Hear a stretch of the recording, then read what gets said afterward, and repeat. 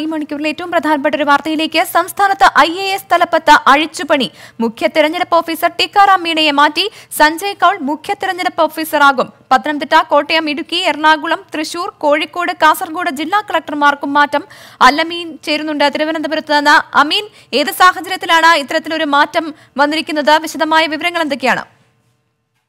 സംസ്ഥാനത്ത് ജില്ലാ കളക്ടർമാർക്ക് ഉൾപ്പെടെ ഐ എസ് ഉദ്യോഗസ്ഥർക്ക് ഉൾപ്പെടെ വലിയൊരു അഴിച്ചുപണിക്കാണ് ഉദ്യോഗസ്ഥലത്തിൽ സർക്കാർ രൂപം കൊടുത്തിരിക്കുന്നത്. പുതിയ സർക്കാർ രണ്ടാം പിണറായി സർക്കാർ അധികാരമേറ്റതിന്റെ ഭാഗമായിട്ടാണ് ഈ പൊളിച്ചെടുത്ത് എന്നാണ് മനസ്സിലാക്കാനാകുന്നത്.